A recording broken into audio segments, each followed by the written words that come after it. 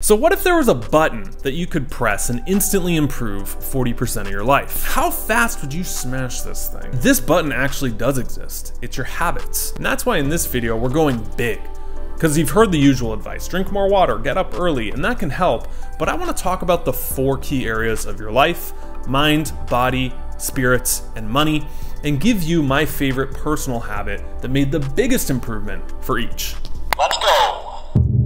This one literally scares me out of my seat. So, the Mayo Clinic analyzed 13 different studies on physical activity. They found that if you sit more than eight hours a day with no physical activity, have the same risk factors as those who are obese or smoke. To my understanding, it's not necessarily the hours you move, but it's the hours you're out of your seats that matter. And so, two things that I did, if you want to copy it, go for it. The first, I got a walking pad. It's what I'm on right now. I absolutely love this thing. I am beating myself up I didn't buy it sooner. Mostly because it's 115 in Arizona right now.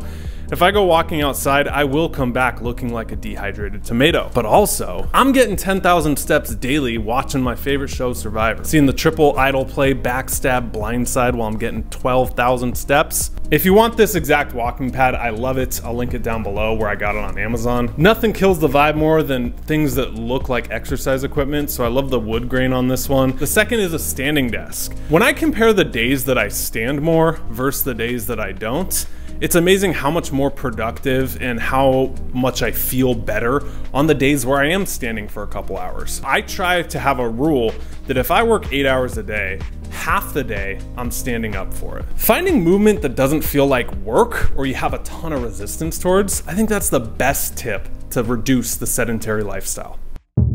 It breaks my heart because a lot of people have the belief, well, I can't invest money because I don't have money. And that seems true but it's completely backwards. We often don't have money because we're not investing. Now, this is not official financial advice. I'm not qualified to give that.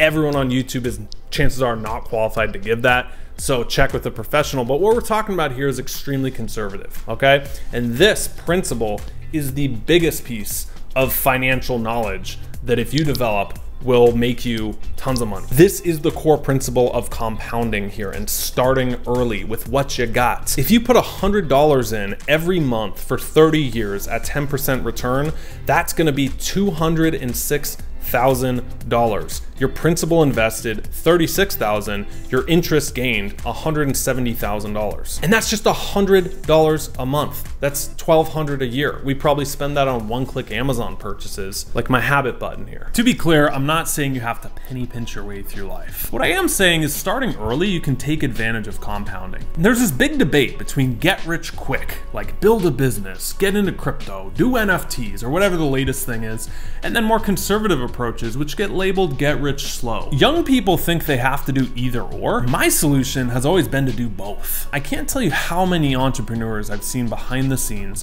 where they have eight years of great growth. They think it's gonna last forever. And then boom, out of nowhere, they get sick or business shuts down. It's not as good anymore and they don't have a safety net to fall back on. I know finances can be really intimidating, so I'll link right here a perfect follow up if you're interested in this and going deeper.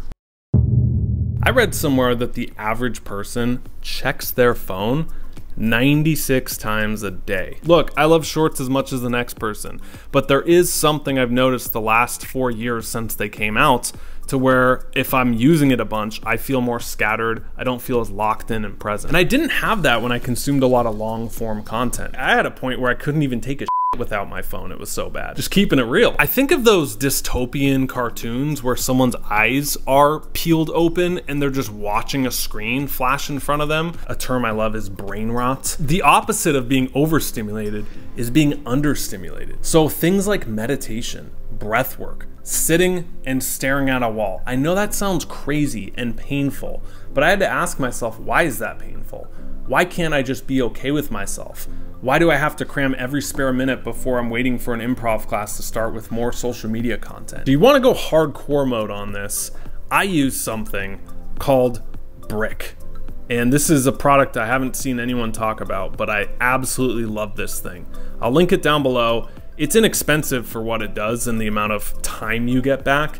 Uh, this was money well spent. So pretty much how it works, you have to tap your phone on this thing to unlock all the fun apps on your phone. So now you're not relying on willpower. Now you're not relying on discipline. You physically cannot do it until you tap it again and unlock your phone. So doing what you can to reclaim your mental headspace is this habit. I want to share something personal I've never shared in videos, and I haven't been ready to talk about it for the longest time, but I think it's a good time and it fits here. I have my own struggles with faith. I was raised Christian, and I didn't agree a lot with what was taught in the church.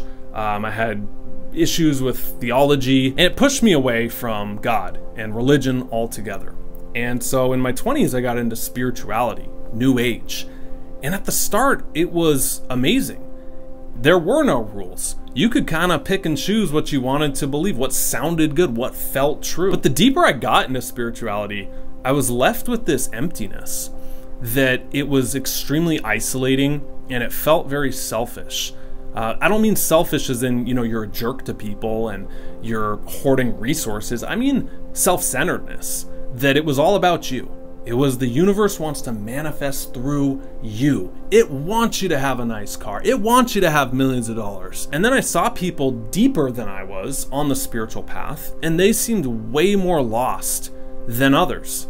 You know, they seemed deeply unhappy behind the scenes when I'd hang out with them at masterminds, or their life and family was a wreck, or they didn't have a family and it was extremely isolating. I started to see values in traditional teachings like religion and Christianity, the nuclear family, raising good kids. For the first time in a decade, I started praying.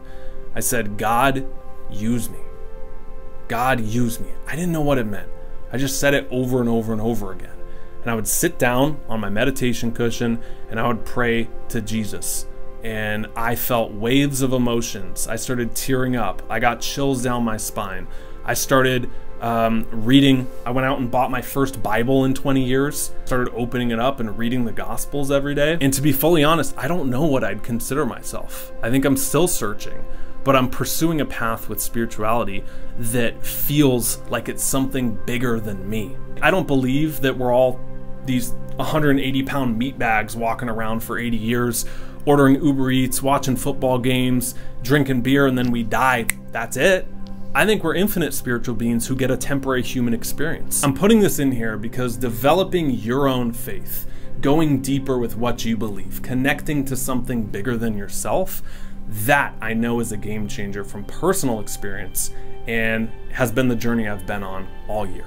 If you want 11 questions to change your life, I'll link down below our email list where it gets sent to you for free. These are my favorite 11 questions for personal growth. Thank you so much for being on this channel. I love you. Subscribe if you're not already. Like this video, it helps a lot. And I'll see you in the next one. Stop settling, start living. See ya.